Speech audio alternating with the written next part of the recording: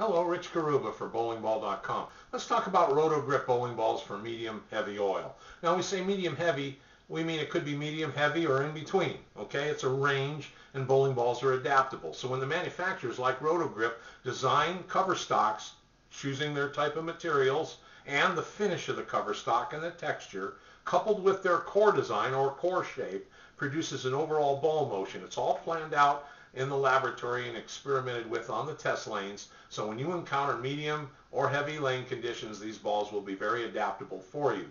Uh, RotoGrip recommends the Shooting Star or the Infinite Theory models. They also rep, uh, recommend the Outlaw. Uh, they have an overseas release called Maximum Theory. You might find that right here at our site if you look for it.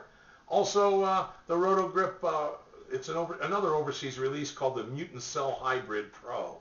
So those are bowling balls that you can find that usually are only released overseas, but we've got some inventory on them and you might want to check it out. Then of course the uh, RotoGrip Infinite Theory Pro and the uh, another overseas item would be the RotoGrip uh, True Alliance Pro Pin. It's an overseas release. Uh, all those are available at our site. You can read the description details about it. You can check out the product availability and the weight availability.